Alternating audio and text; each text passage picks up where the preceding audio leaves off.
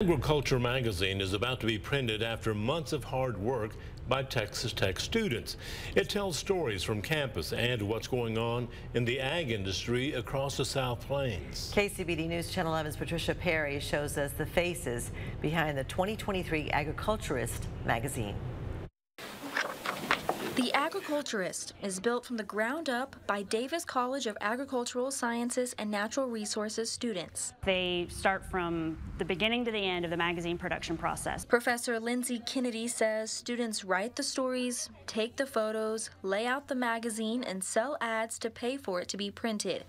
This year, the group sold $40,000 worth of advertisements. In that room right there, you have over 50 students that is developing a publication that has just below $40,000 worth of people that have invested in us to produce this magazine.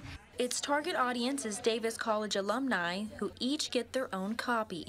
The magazine's editor, Carly Winfrey, says her and her peers' goal is to keep them up to date with what's going on in the college and what's happening on the farms and ranches.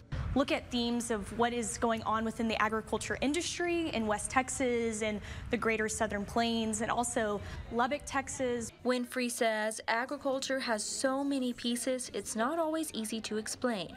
But being an agriculture communications major, that's what projects like this shape her to do. It's my job to be able to figure out how can I get what a farmer in the Lubbock area is doing and put that in a press release so someone in inner city Dallas can be able to understand it. One student, Breely Hughley, says the hardest part wasn't the writing, photography, or selling the ads.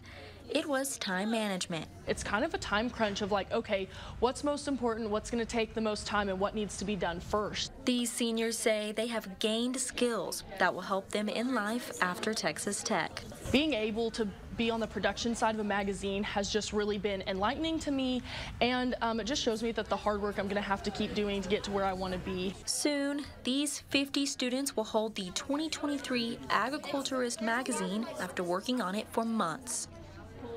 Patricia Perry, KCBD News Channel 11. The 2023 Agriculturist will be printed by early June and hard copies will be sent out to advertisers and alumni. But anyone can find a copy of the magazine online this summer. We have the link for online versions at kcbd.com.